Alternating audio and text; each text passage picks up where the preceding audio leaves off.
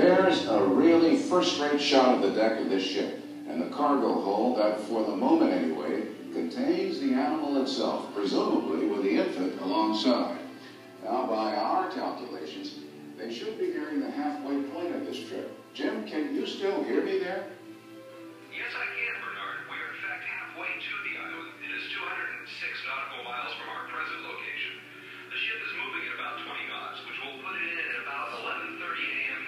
Okay, we're going to take a moment here and run the tape of our interview earlier today with John Hammond. What? He's the former head of InGen bioengineering, the man who has come forward to spearhead this movement not only to return these animals to their island, but the island itself intact.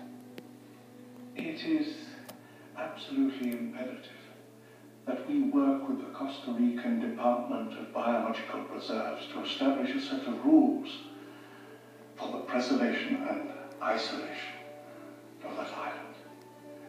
These creatures require our absence to survive, not our help. And if we could only step aside and trust in nature